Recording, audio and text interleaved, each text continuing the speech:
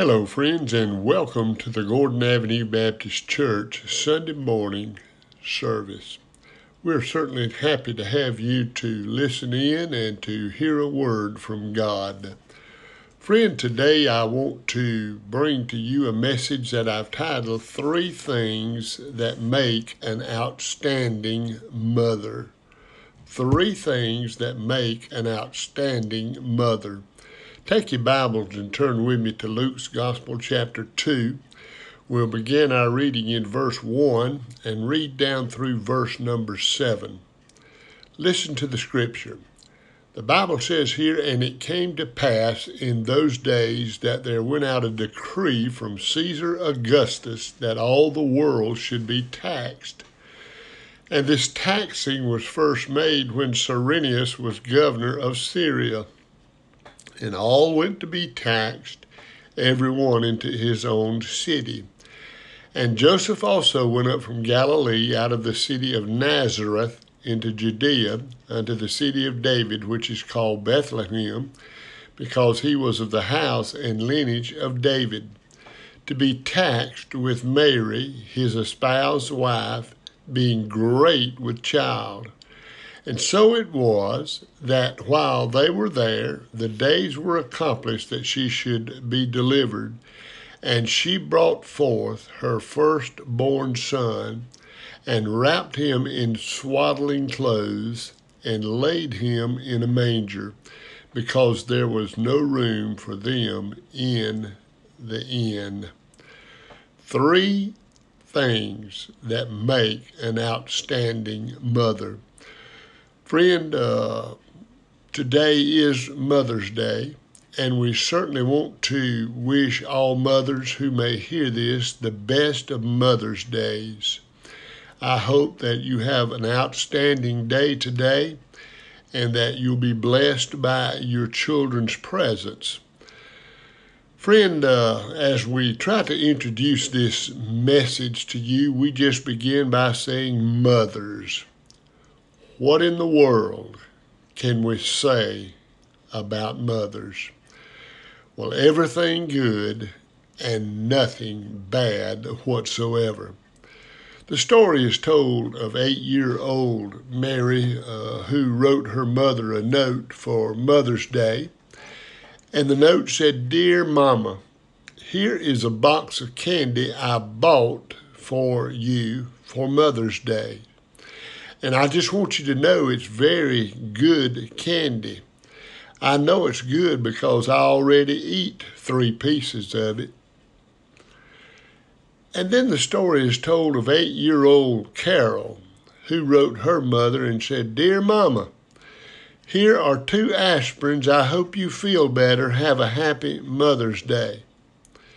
And then six year old Johnny and his four year old sister, Susie, presented their mama with a Mother's Day present, a small, spindly little house plant. While it wasn't the finest looking specimen in the plant uh, world, they bought it with their own money, and their mama was thrilled to death. She just hugged and kissed them young'uns and told them she loved them for thinking of her. And Johnny said, Well, Mama said there was some other flowers we wanted to buy for you, but we just didn't have enough money. Yeah, said Sister Susie, they had a real nice bunch of flowers at the shop that we were going to buy. Mama replied, But I love this plant, and said, It said Happy Mother's Day. I know, Mom, said Johnny, but these flowers we wanted to buy for you would have been just perfect. They were in a wreath and they had a big ribbon on them saying, Rest in peace. And it's always what you're asking for, just a little peace so you can rest. Friends, those are very uh, childlike things that could happen in anybody's life. But today I want to motivate each of us to seek the power of God to enable us to be a successful parent. Whether you're a, a, father or a mother, this message could reach into your heart. You know, uh, friend, as we think about this, giving birth doesn't really make a woman a mother. It takes more than just that. It takes a special woman to be a mother. A mother is a person who is willing to take the responsibility of investing her life into another human being who is totally dependent upon her to do so. There is a poem that I come across that just really reached into my life, and I pray that it reaches into yours. And it's titled The One Who Follows Me, and I do not have an author's name. Uh, the author is unknown. But what a beautiful poem it is. Listen to the words. A careful mother I ought to be. A little one is following me. I do not dare to go astray, for fear my child will go the self same way. I cannot once escape my child's eyes. Whatever the child sees me do, the child tries. Like me, my child says I'm going to be that little one who follows me, thinks that I'm good, thinks that I'm fine, believes in every word of mine. The base in me she must not see, that little one who follows me. I must remember as I go through summer's sun and winter's cold, I am building for the years to be this little one who follows me. And how true that is uh, for either a father or a mother. Little eyes are watching you, sons and daughters are watching you, wanting to be just like you. So, friend, be careful how you live before them. Be careful, little mouth, what you say that those little ears can hear. You know, I said that there were three things that I wanted to bring to your attention that makes somebody an outstanding mother, and let me share those with you real quickly. First of all, to be a to be a real strong, powerful mother in your home, you need to have a personal relationship with God. Over in 2 Timothy chapter 1 verse 3 through 5, I think Paul addresses that as he's talking to young Timothy. He says there, I thank God whom I serve from my forefathers with a pure conscience, that without ceasing I have remembrance of thee in my prayers night and day. Now he's talking to his young preacher, greatly desiring to see thee being mindful of thy tears, that I may be filled with joy. Listen to this. When I call to remembrance the unfeigned faith that is in thee, which dwelt first in thy grandmother Lois and thy mother Eunice, and I am persuaded that is in thee also. So you see, my friend, those little steps following you. I mean, here's young Timothy, the preacher of the gospel. Listen to what he, Paul says. He really stresses this. He says, This unfeigned faith that dwelt first in your grandmother. That's Timothy's mother's mother. And then thy mother, Eunice, she passed it on to Eunice. And Paul said, I'm persuaded that's in you also. So Eunice passed it on to the young preacher, Timothy. So, see, friends, you can make a difference in your child's life by passing your faith on to your child. I've said so many times, your life could be the only Bible some will ever read. So let others see Christ in you. And there's no better one to see Christ in you than your child. Now, if we look at our text and we talk about the mother of Jesus, Mary was a person of spiritual integrity. In Luke chapter 1, verse 30, the angel said unto her, Fear not, Mary, for uh, thou hast found favor with God. One of the greatest things that any mother can do is to find favor with God. Now, Mary was a person who enjoyed the presence of God. In Luke chapter 1, verse 46 and verse 47, The Bible says here, and Mary said, My soul doth magnify my soul doth magnify the Lord, and my spirit has rejoiced in my Savior. You see, Mother, one of the greatest things that you can do is magnify the Lord and uh, have your spirit to rejoice in God and our Lord and Savior Jesus Christ at any given moment. So she was a person of spiritual integrity, but she was also a person who enjoyed the presence of God. Mary was a woman that was hungry for God. Friend, what are you hungering for today? What is it that really gets your attention? The first thing necessary to become an outstanding mother is a personal relationship with God. Are you hungry for God? Then the second thing that's necessary to be uh, an outstanding mother is to have a proper relationship with your family. Now, Mary supported her husband's leadership. She respected him, and uh, he respected her. Mary taught her children discipline in honor of God. Over in Luke's Gospel, chapter 2, verse 51 and verse 52, notice what the Bible says here.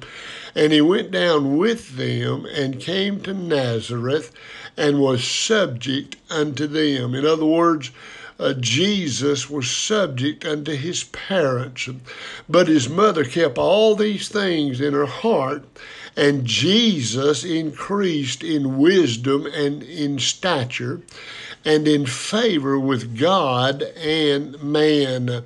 You know, my friend, one of the most important things that a mother can do is to train up a child in the way he or she should go and when he or she is old, they'll not depart from it.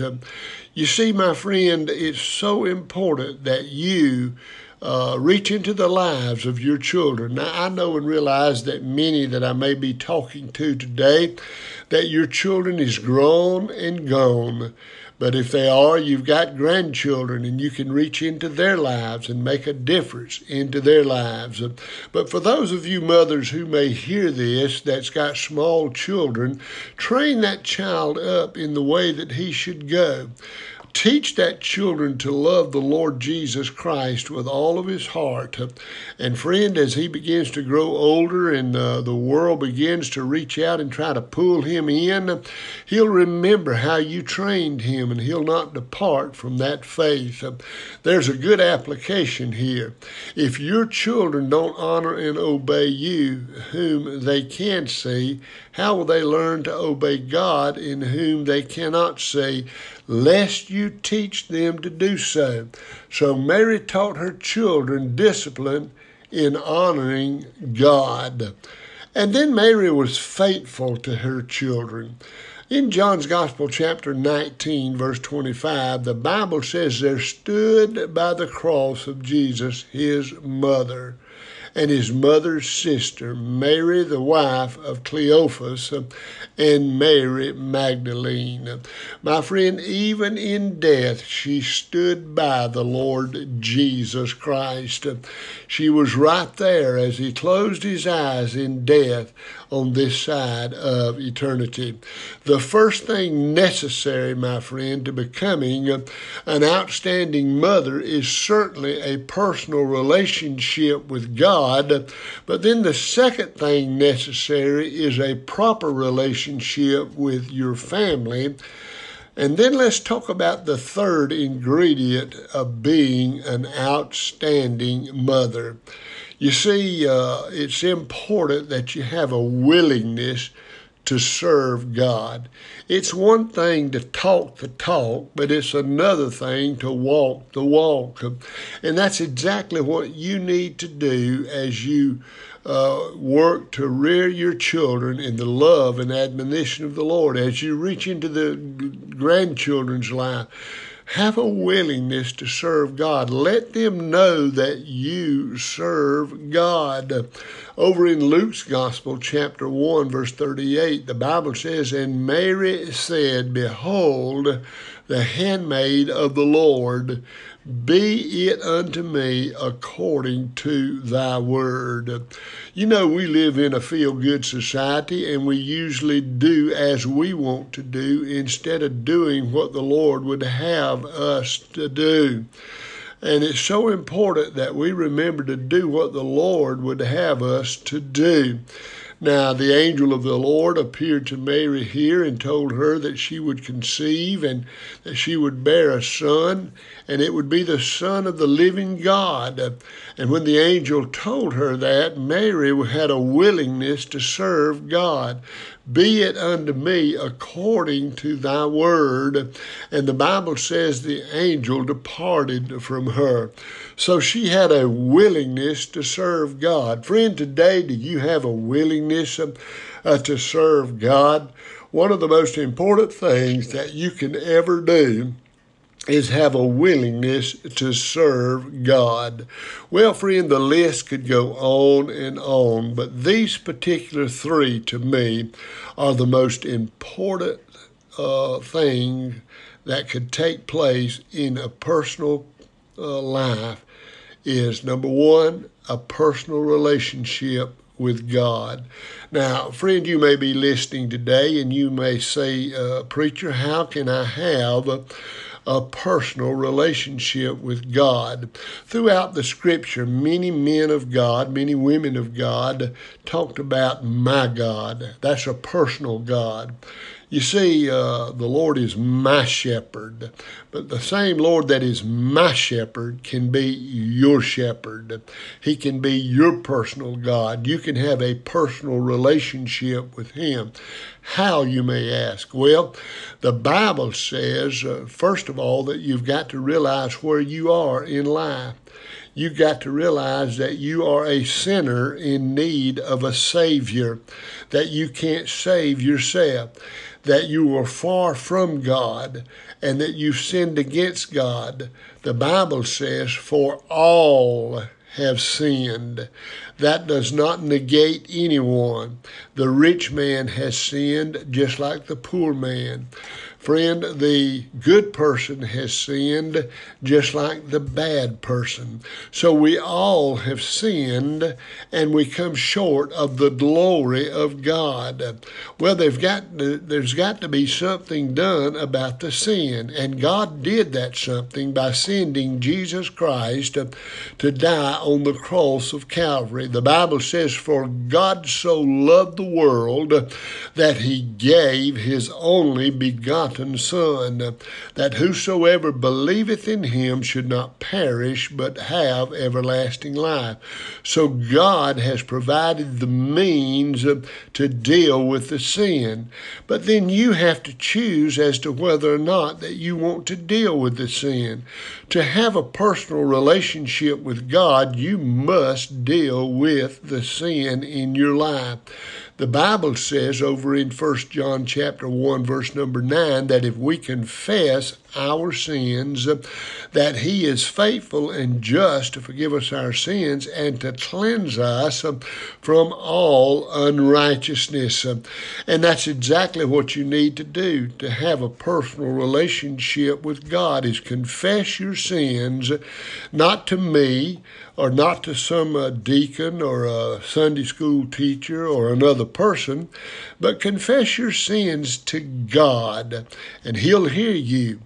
Now, the Bible says, For whosoever shall call upon the name of the Lord shall be saved. And all you've got to do, my friend, to have a relationship with Christ is to ask Him to come into your life, to forgive your sins.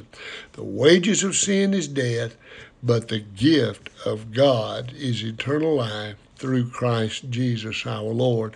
That's what you must do to have a personal relationship with God.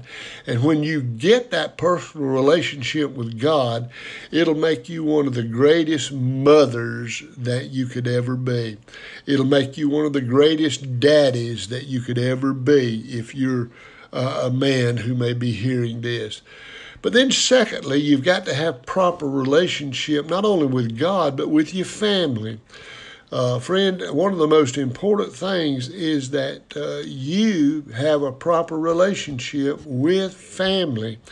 You've got to spend quality time with family and build your family. Let your faith help you build your family into what you would have them to be. And then, most important, if you build a personal relationship uh, with God, then you've got to have a willingness to serve God. You know, there's so many other things that we can serve in this life. And even after getting to be a child of God, many times uh, we don't have the willingness to serve God as we should. We serve God as we want to, but we need to serve God as the Bible teaches us we need to serve God. I mean, if you look at the life of Mary, uh, whenever the angel told her that she would conceive a child, she made it very clear whatever God wants to do, here am I. You and I need to have that same attitude, a willingness to serve God and follow His direction instead of following our own directions. When one has a personal relationship with God, through Jesus Christ the Lord, it's then that everything else falls into its proper place. Now, let me ask you something today, dear mother, who may be hearing this. Do you have a personal relationship with Christ? If you don't, his invitation has never changed. His invitation is still, Come unto me. Friend, maybe you've had a relationship with Christ, but yet you've not had the willingness to serve God as you know you need to serve God. His invitation is still, Come unto me. Maybe there's some other type of decision or commitment you need to make today. Friend, his invitation is still, Come unto me. It's never changed. So all you've got to do is come unto him. Build you an altar somewhere in your home and go to him. You may take a chair and just pull it out from the table and kneel on your knees uh, and put your elbows in that chair. That's your altar. You may not even be able to get down on your knees, but you can in the knees of your heart. Friend, find you an altar wherever you are and build a personal relationship with God by accepting Jesus as Savior. And then, if you hadn't had the best family relationship, begin to work on that. But always have a willingness to serve God. And when you do so, my friend, it's then that you will realize that you are an outstanding mother. Think about that. Let's pray together. Father, we thank you for the message of the hour. And now, God, we pray in Jesus' name that you'll use it in the life of some mother that may hear it, in the life of some father that may hear it. May you always be focused on uh, as we live our lives for you. And as we focus on you and as we trust you, it's then that all things will come together for your good. In Jesus' name I pray. Amen. Well, friend, I do pray that you made a decision for Christ today and uh, just let Him uh, make you an outstanding mother or daddy for the glory of God. May the Lord bless you until we meet again.